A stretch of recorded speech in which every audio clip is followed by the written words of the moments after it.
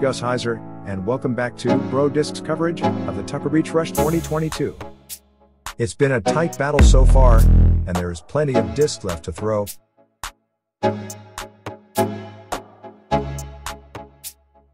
Our coverage begins at hole 8, with Jaden on 22 under, Levi on 21, Ryan on 19, Ethan on 13 under par.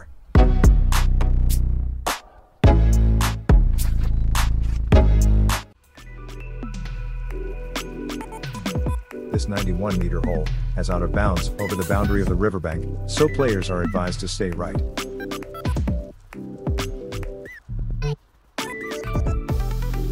We're facing downstream, next to the wild Shotover River, here at Tucker Beach, watching Levi Stout tee off. And for another birdie chance with young Levi there. See what Jaden can do here. He's usually pretty accurate.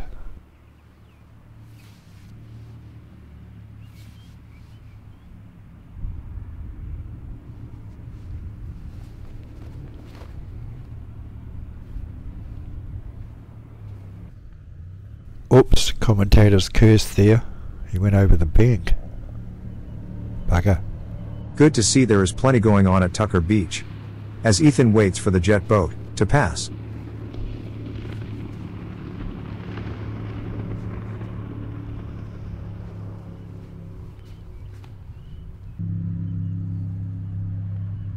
Ethan's disc ends up overshooting the basket. He may have overcooked that one.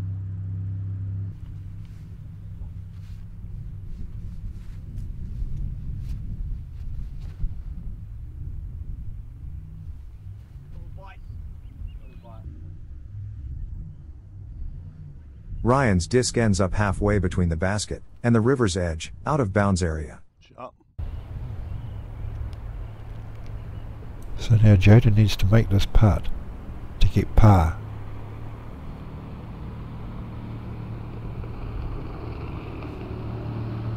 That's a solid putt under pressure.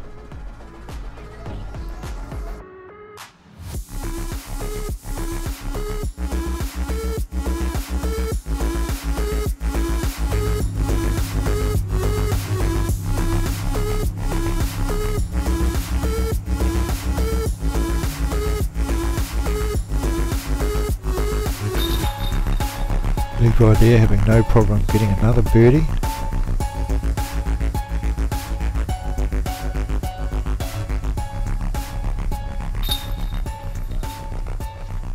Ryan there with the bird.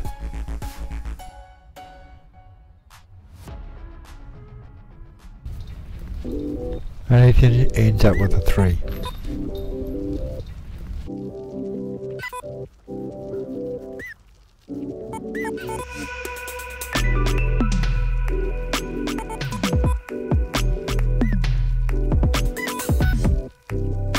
Hole 9 is a 150 meter par 4, which has the usual wind blown trees along one side and a sharp bend to the left about the 100 meter mark.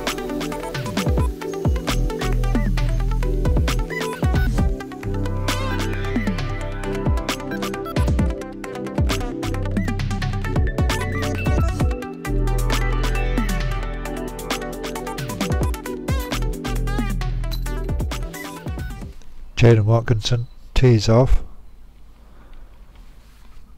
Still with the Parker on.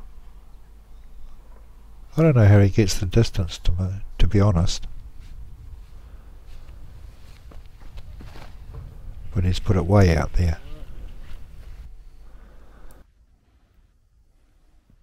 A very handy spot. Levi warms up for a big throw. He loves the extra length on the mat. Big T. Ginormous.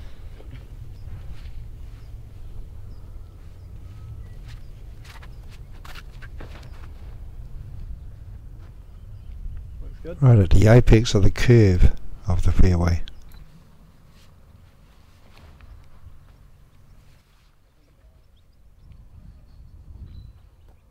Oh, Turn the cameraman.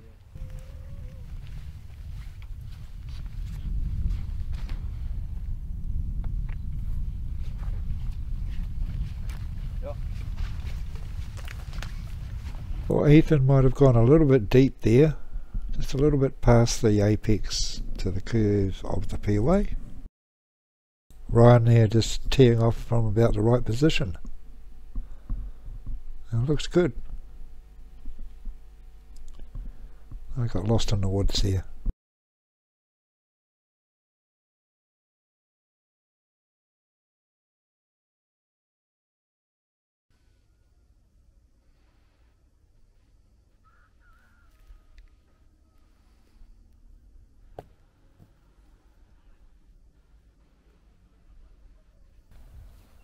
Young Levi lines up his second throw from about 60 meters out.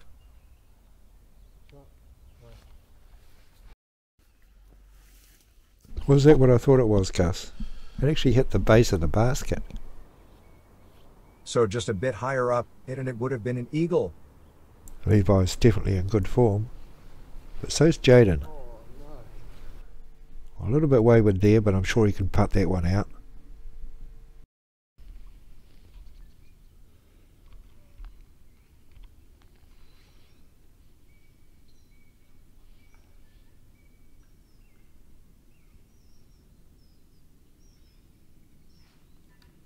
Yeah. Shot. What did I tell you? Great putt there from Jaden. This is still turning out to be quite a tussle here at Tucker's. The pressure is on.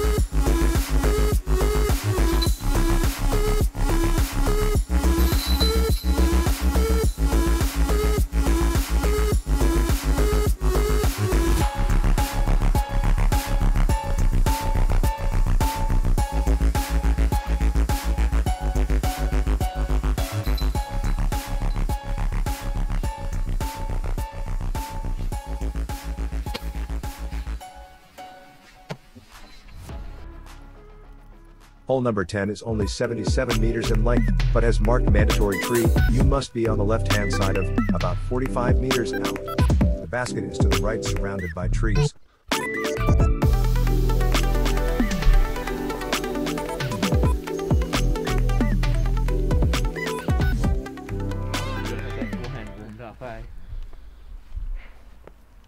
Levi warming up his sidearm. Obviously wants to do flick it around the corner. And he does that.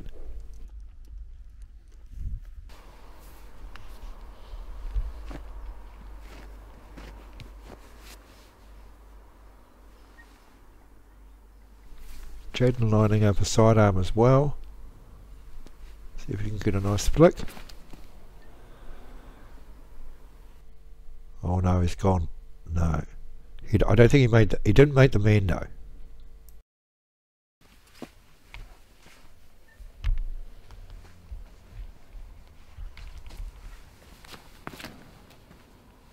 Ethan hitting some trees and falling a bit short. Held on to that.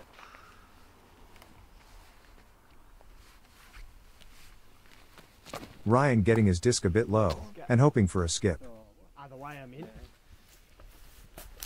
Ethan, second throw there.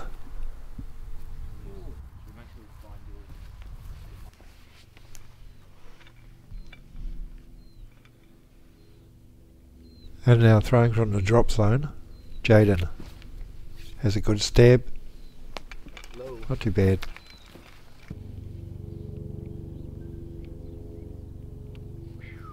Ryan from when he slid into the undergrowth to slide along past the basket.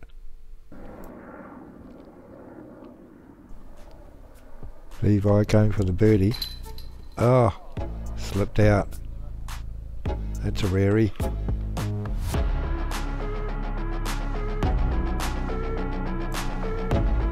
Ryan putts, nails it.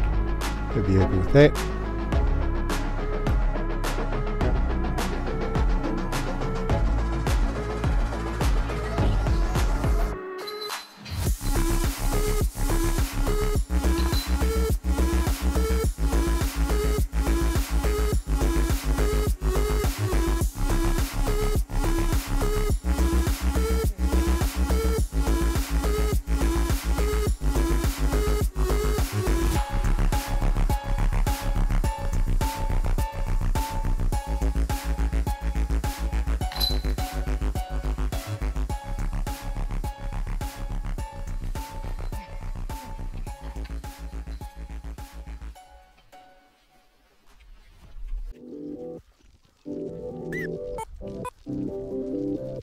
Hole 11 at 66 meters long, it's a likely an ace run. There are the usual Tucker's Drift with trees and a well-worn path.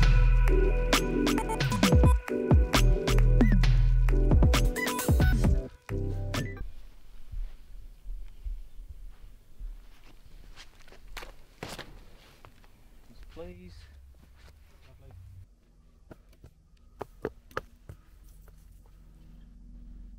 Ethan's left-handed throw catches out the T-cam guy, which is me, What? but it's great for the catch cam.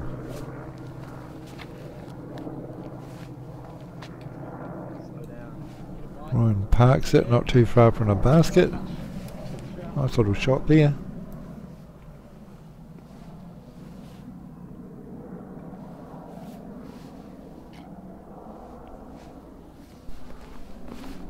Jaden with his smooth style just makes it look effortless. Mm-hmm. It's right under the basket.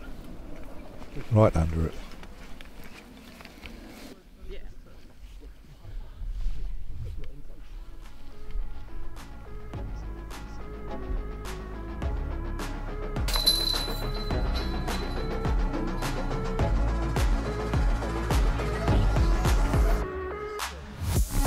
Ryan starts off with a birdie, and I suspect everybody else will too.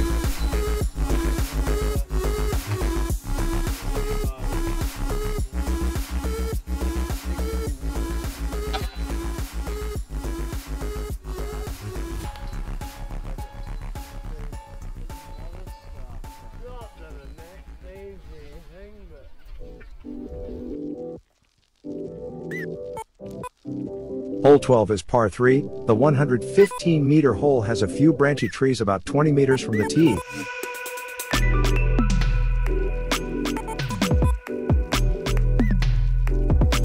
The basket is on a raised mound.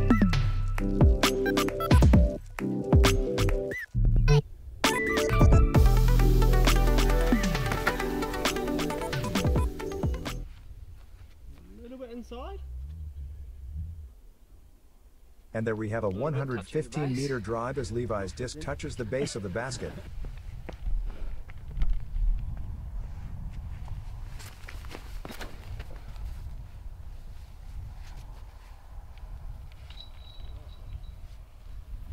Hey, what happened to the catch cam on this hole, Dazz? We ran out of card on this hole. A few technical difficulties. We sorted it out though.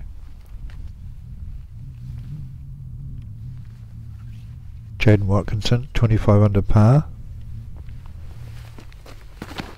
We're going to look at his driving action here.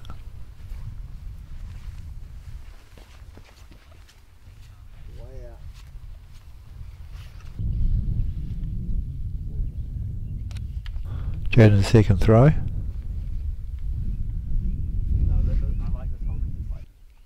Ethan having a run at the basket.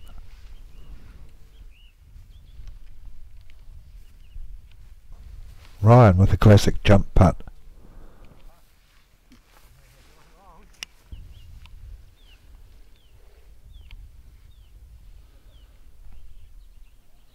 Finishes it off for a three.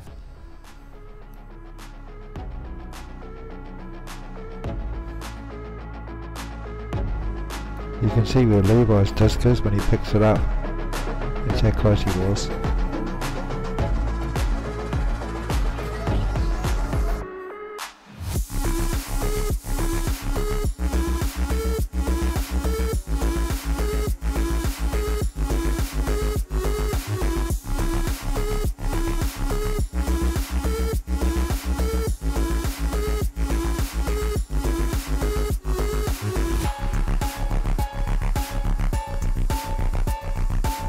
So now Levi draws equal with Jaden in this tussle for the lead.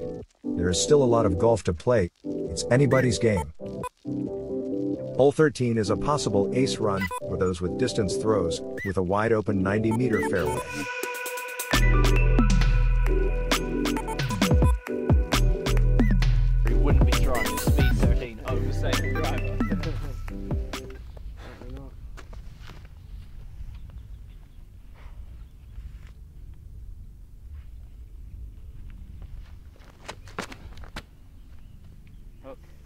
Levi using a speed 13, overstable driver, throws a side arm that looks on target. But runs into the tree bunker, before arcing out at the end of its flight towards the basket. That's a very accurate description, Gus. As you would expect, from such a professional disc golf commentator like me.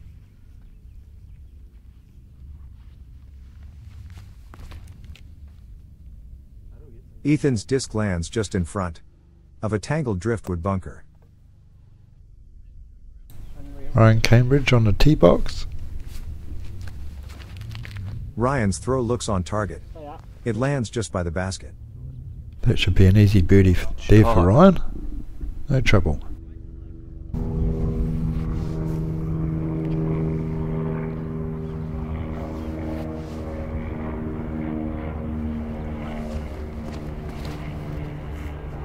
Stay up. Is it bad? Jaden's disc lands amongst the driftwood tangle. Luckily on the basket side of the pile.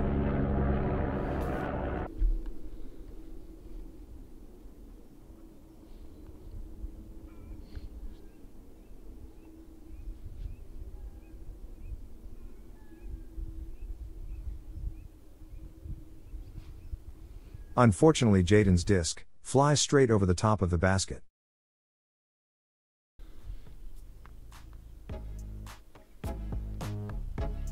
Levi nails another birdie, another great putt that takes him into the lead with 26 under par.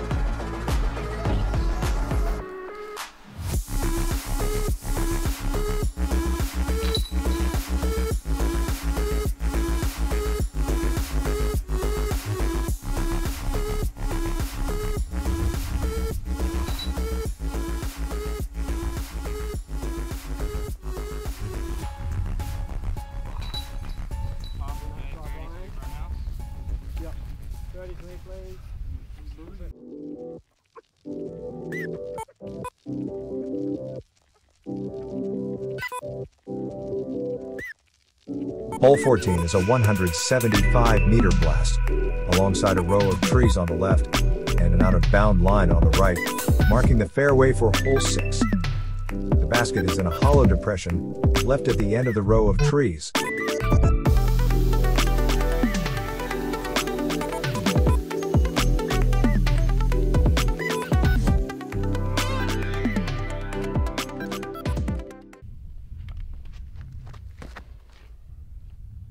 Levi with a nice powerful throw. Gets us just to turn over nicely. And he's got some good distance there. Yes.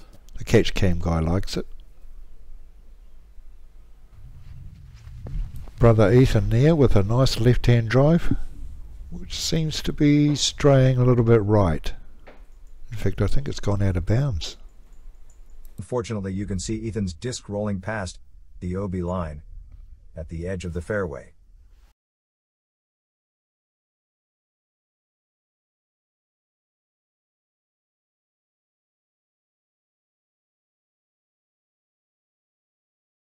A nice safe drive there from Ryan.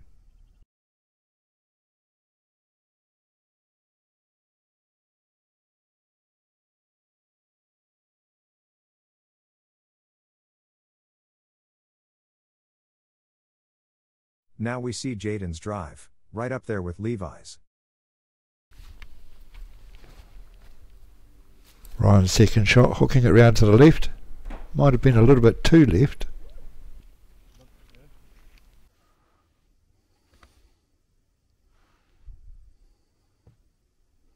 So instead of throwing from here for a 2, Ethan cops a one stroke penalty for straying onto the fairway for 6.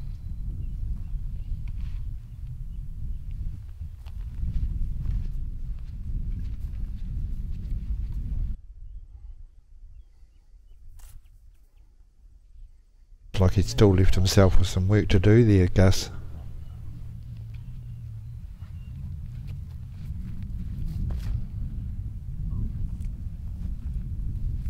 Levi's disc lands just inside the hollow.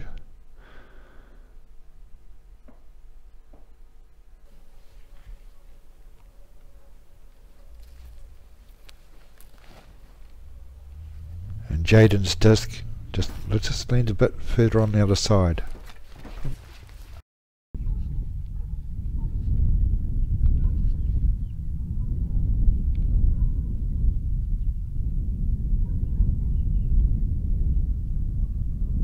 Jaden hits the chains, but no basket, if you know what I mean. Ethan takes a stab, just ends up hitting the hill at the other side of the basket.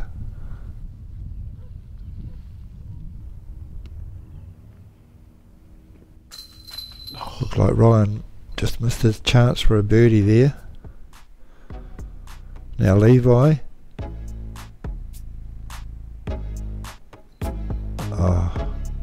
Looks like nobody's getting a birdie here today.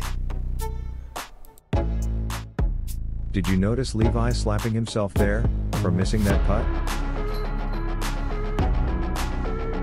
That's because he has high expectations of himself and he's disappointed. Like all the players here, there's a high standard. Well, this is certainly turning out to be a great tournament, Gus. What do you think? You're absolutely right there, Dazz. Everyone is giving it their best shot. The standard of play is high, that's for sure. It's time to remind all you viewers that you need to subscribe. Dazz just can't afford me, and in getting worried he may fire me. So please subscribe and save my job. I'm Gus Hyzer, and you have been watching Bro Disc's coverage of the Tucker Beach Rush 2022. As the players walk onto tee off on hole 15, we can see Levi sneaking into the lead with 26 under. Jaden in hot pursuit with 25 under, Ryan on 22 under, and Ethan on 15 under par.